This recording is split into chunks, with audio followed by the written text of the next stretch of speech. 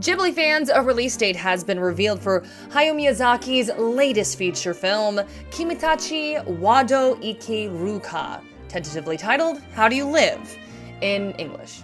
The studio tweeted it will open in theaters in Japan on July 14th of 2023 and showed this visual. Miyazaki is credited with the original work in addition to directing the film and writing the script.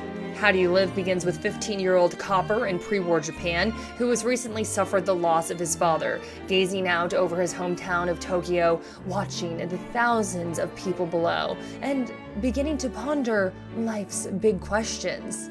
Over the course of a year in his life, Copper, like his namesake, Copernicus, embarks on a journey of philosophical enlightenment and uses his discoveries about the heavens, earth, and human nature to determine the best way to live. Well, are you excited about this? What's your favorite Ghibli movie? Tell us in the comments below and get the full article at animenewsnetwork.com.